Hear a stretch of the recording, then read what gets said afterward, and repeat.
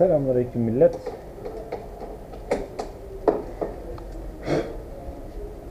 Hepiniz kanalıma hoş geldiniz. Hava güzel, yaz geldi. Benim şu yeni motorumda birkaç ufak tefek tur atayım. Ben biraz rodaj tamamlayayım. Önce motorumu göstereyim size.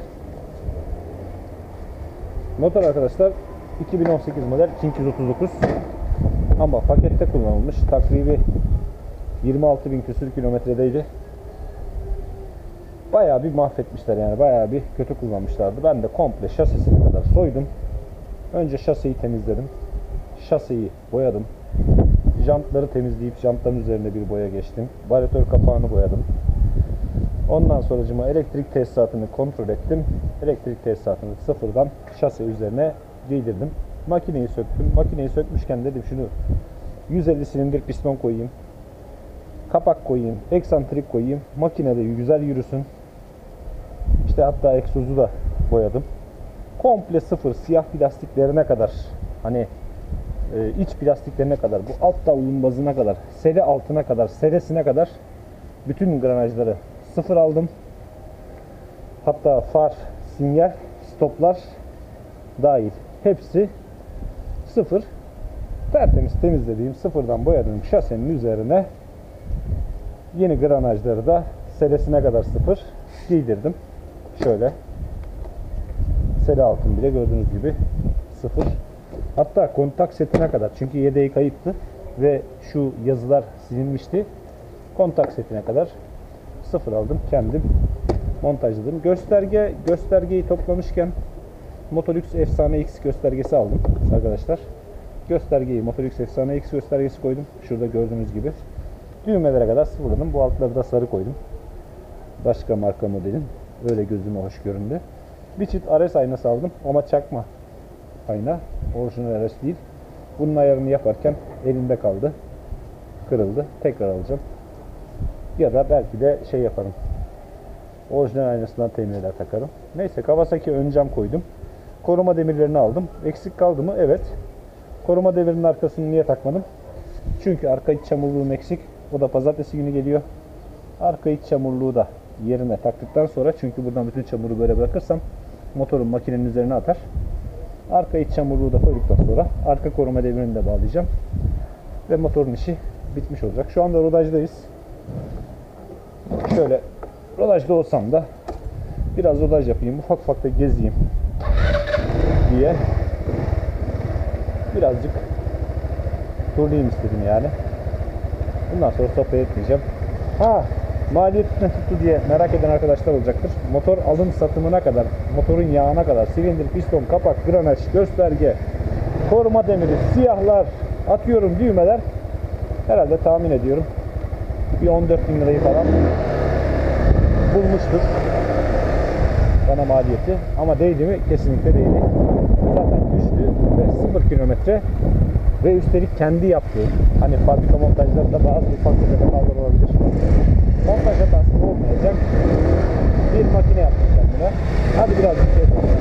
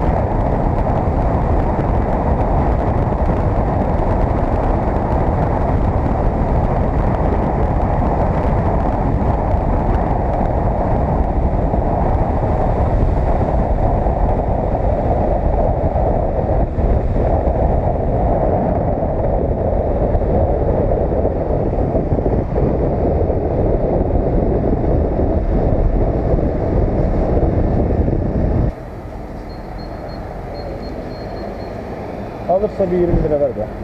Hı hı. Almayabilir 20'yi ama.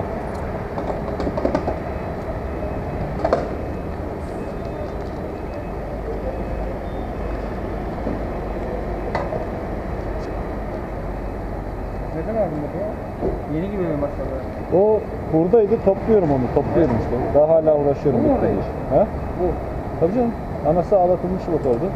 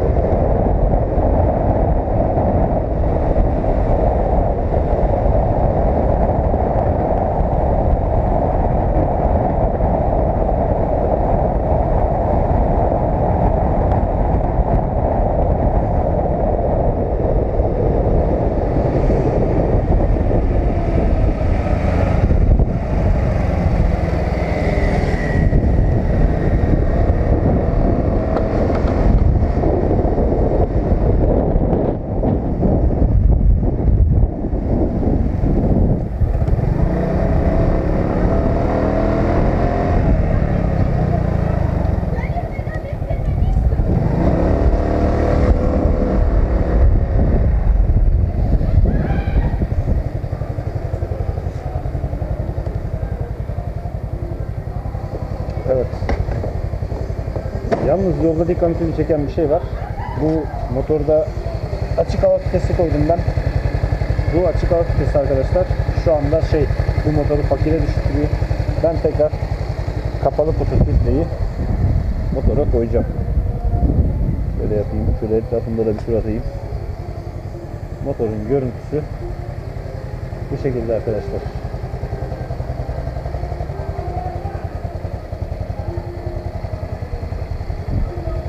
Tabii şu an burası çıplak. Hem hafif tespitisi yok hem arka iç çamurluk yok. Onları da koyduk mu? Arka koruma, demir, koruma demirini de koyduk mu? Motorun işi tamamdır.